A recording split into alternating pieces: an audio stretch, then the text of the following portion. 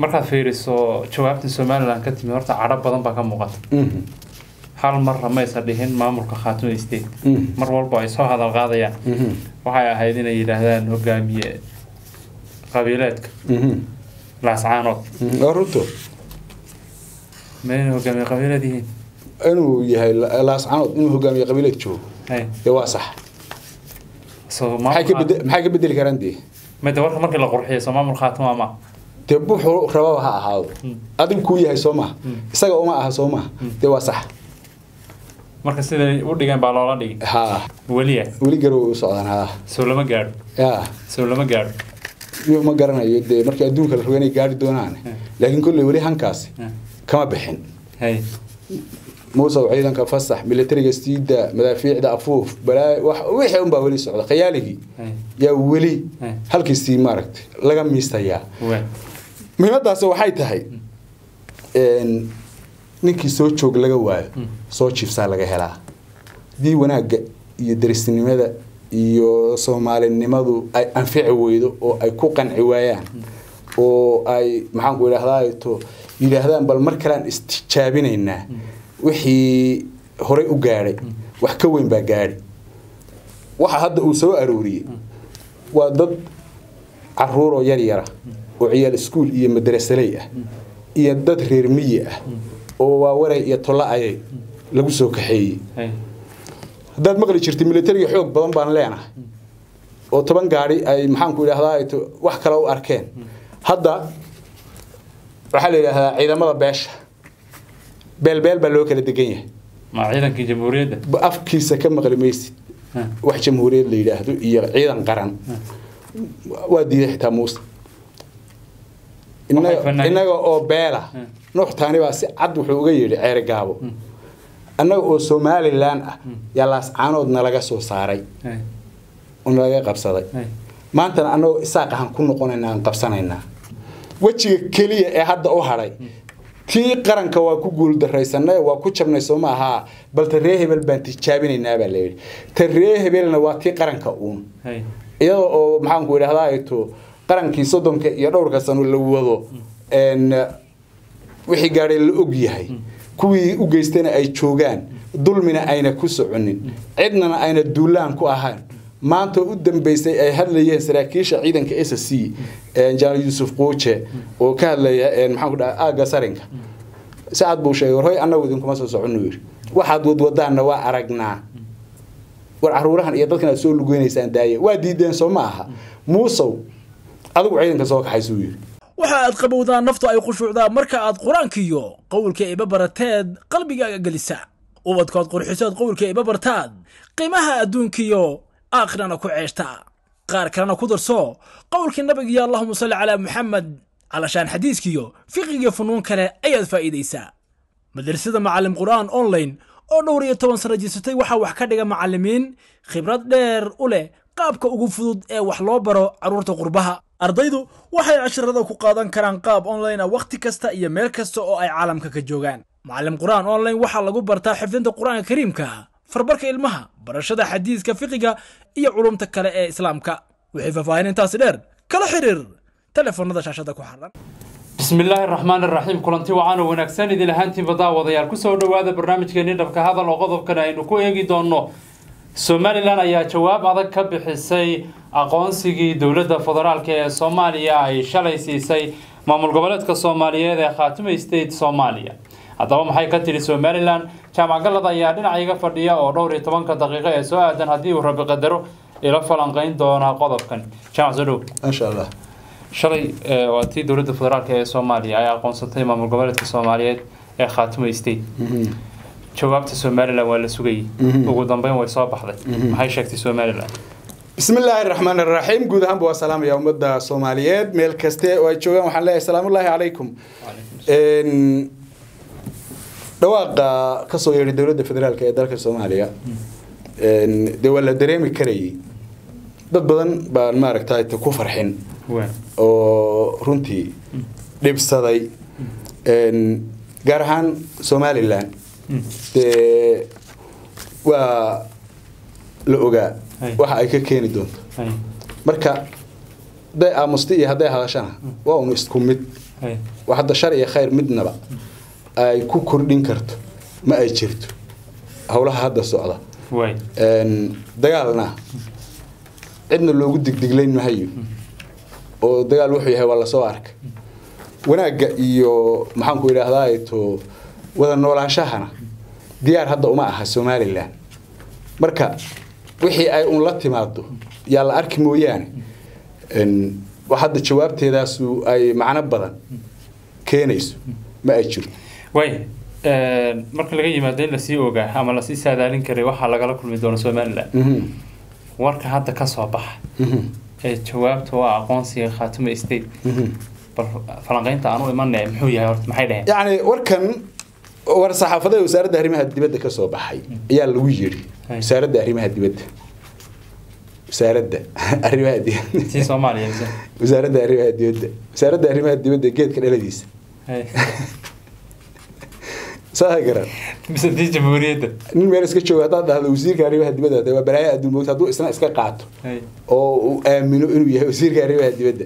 Balkaas Oo- kuway nimanka wasiirada arrimaha dibadda lahaa ee Okey. xitaa ictiraafka Ya. afrikaanka isu ekeysiiyey mar bay mar macno lahayd. Hay. laakiin hadda waxa weeye de waa waa la ogyahay xaqiiqda iyo waaqaca dhabta ah.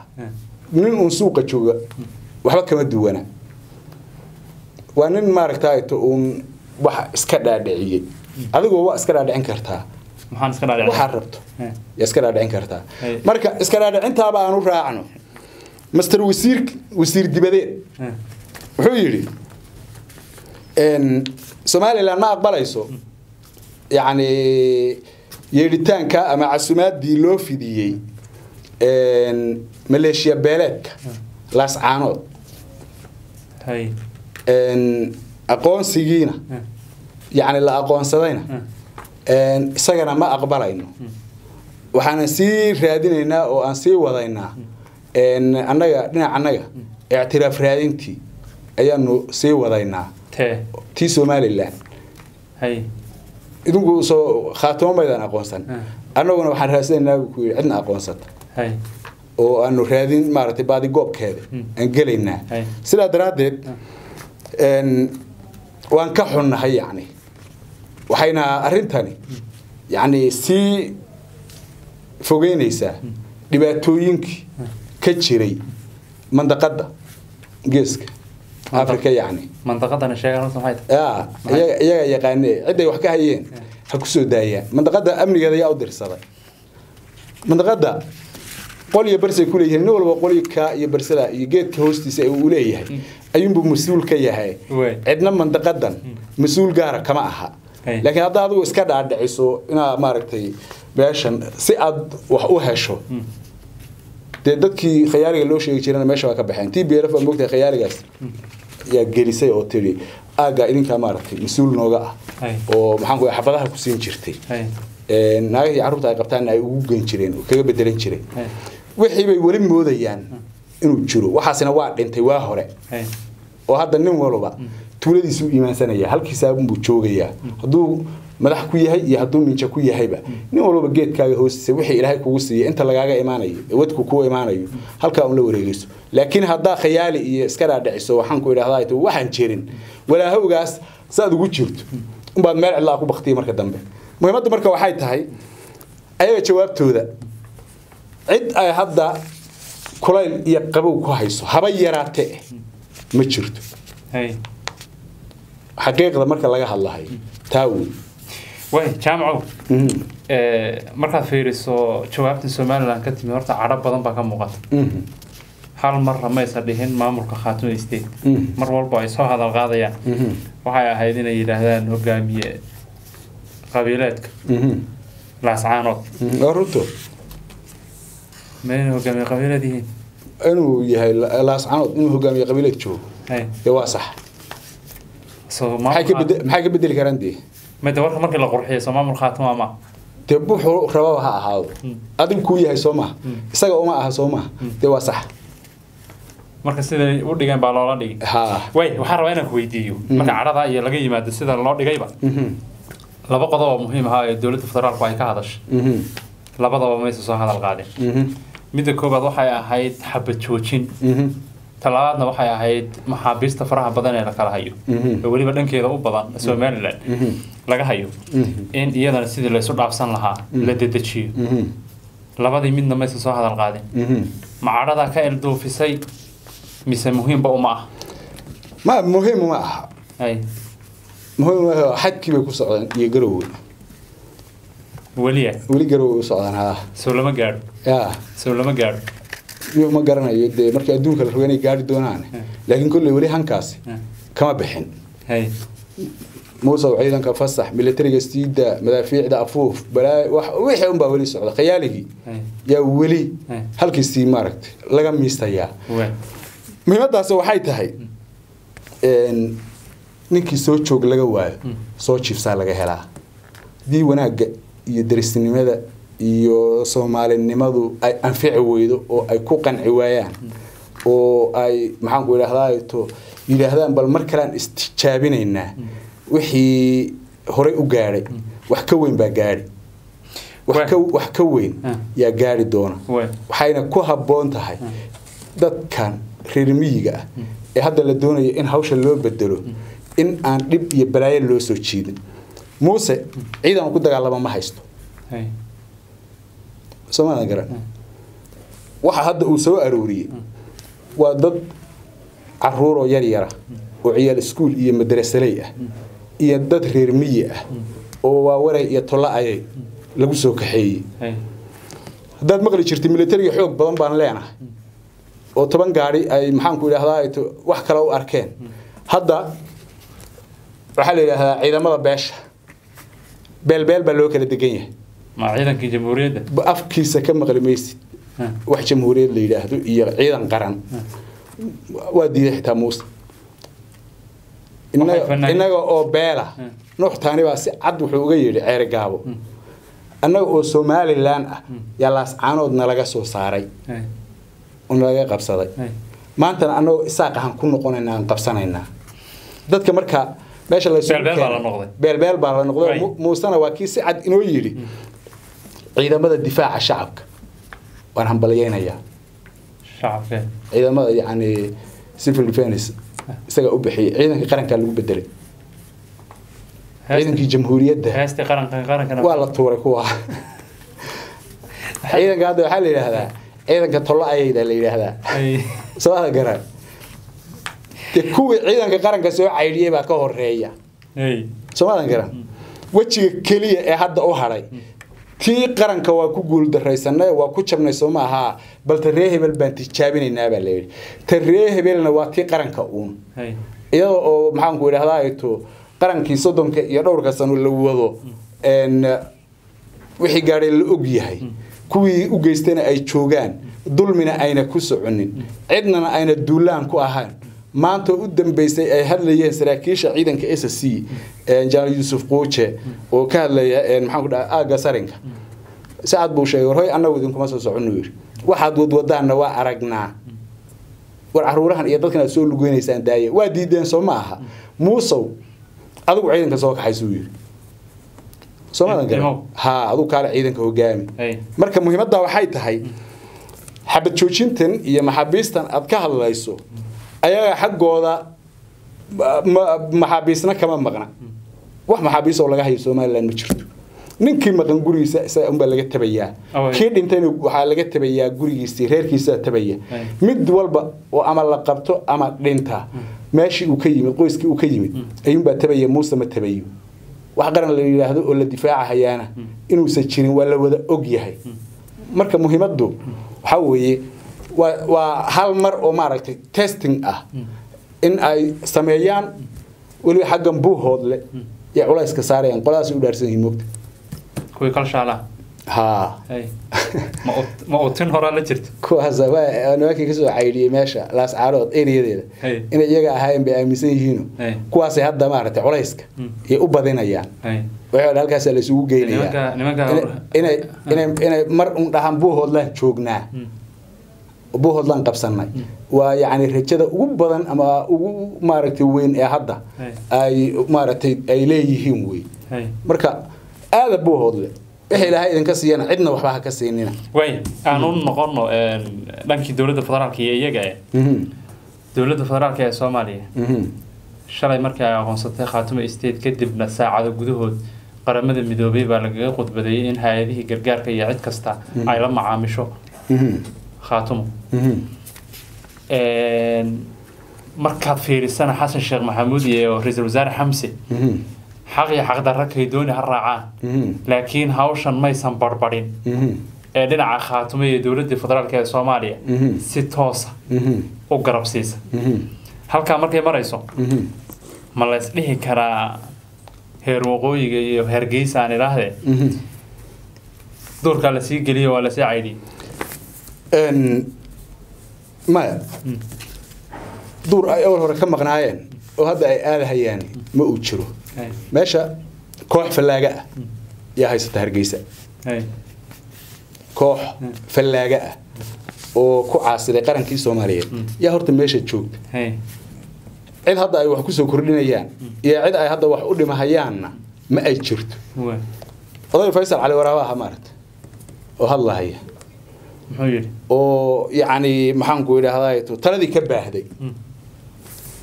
oo yacni si uu u dhigo garan la Muxuu ku yacni marka aad fiiriso hadalka ka soo yeedhay dowladda federaalka iyo qaramada midoobay. Yacni dhulgariir ayuu ku noqday hargeysa. Ama dadka aragtida yacni gooni ugoosadka qaba. Wuxuu ku noqday dhulgariir faysal cali waraabe wuxuu taagan yahay waxa nagu dhacay aqoonsiga ah ee dhibaatadeena loo geystay. Walaalahaya maaragtay to hawiye ama iri samaale nooma geysanine. Nin lacag la siiyey oo la yidhaahdo fiqi yaa noo geystay. Waagi horena farmaajuu doortay. Oo awowgii aanu ka caydhinay maxaanku idhahdaa dalka? Soo Hey. welina farmaajihii buu Mm. taageersan yahay. Wuxuu ku leeyahay marka waxaasi wax soconaya ma aha oo insha allahu tacaala waxaan tegaynaa meeshii magaca lahayd. Xadkanagii baan tegaynaa ingiriisku una siiyey. Wuxuu si cad u sheegay in yacni maxaanku idhaahdaa ayto walaalaha hawiye Mm. ayna maaragta eedaas ayna u xambaarinaynin haddana wuxuu leeyahay idinkaa waxaa noo geystayo cadowgii aanu dalka ka kicinay ee aanu ka xorownay yaa talada u dhiibteen oo annagina hadda dhibka nagu haya hay. halkaa marka halkaa wuxuu uga leexiyey. Weli isbahaysigii wuxuu rajo ka qabaa iri samaale. Oo shaqayn waaya kaasu waa shaqaynayaa weli. Laakiin haddee waa lala macaamilayaa. Waa lala shaqaysanayaa. Waa la kala shaqaysanayaa. Nin walbana hawshiisuu wataa iri samaalanimadu waa moogtahay wax sii buuran.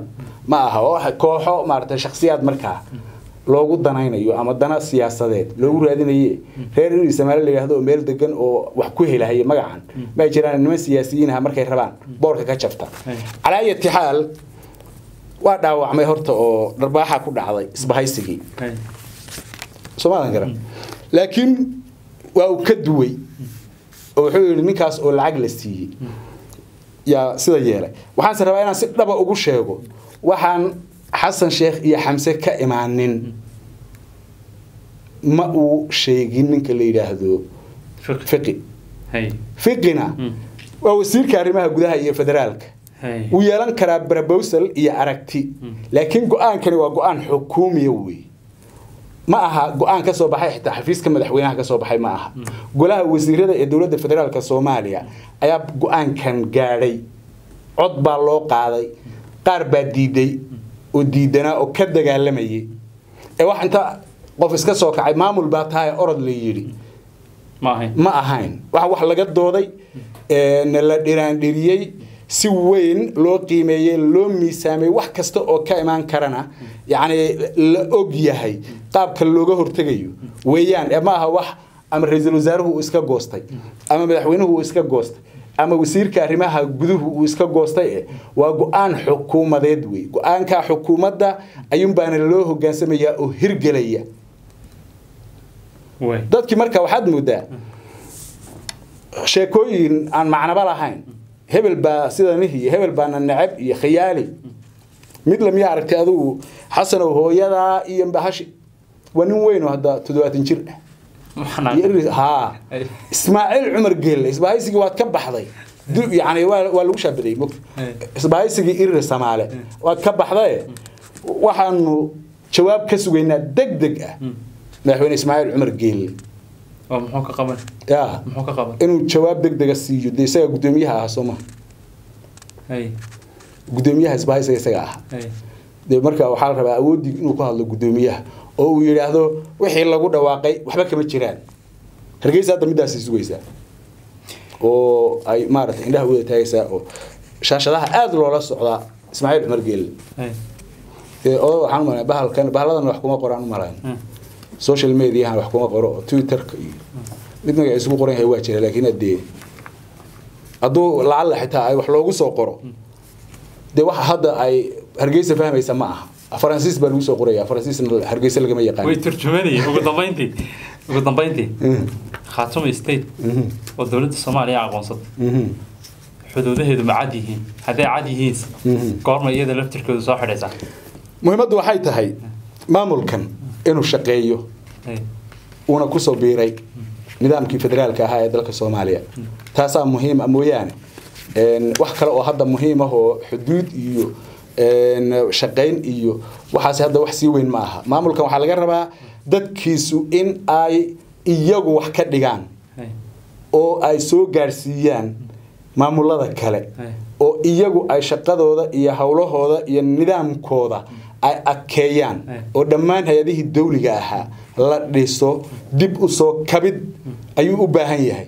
Hay'adaha dowladda federaalk ee dalka soomaaliya waa inay ku cadaadiyaan maamulkani yacni in ay ka qayb qaataan kaabayaasha dhaqaalaha ee bulshadu ay u baahan tahay. Hadday ahaan lahayd sida waxbarashada caafimaadka adeega maxaan ku biyaha dhan walba oo yacni muhiim u ah bulshada. Ila waynu ognahay laascaanood sagxadday tagtay soddon iyo labadii sane ee dalka soomaaliya dowladdii sii dhexe ay meesha ka maqnaydna gobolladani waxay ahaayeen gobolladii ugu nasiibka daraa ee dhibaatooyinka yacni maamul la'aantu ay dhulka la gashay ee laysku haystay ee noqday un goob dagaal ama disputed area weeyaan la yidhaahdo oo hay'adaha laga mamnuuco.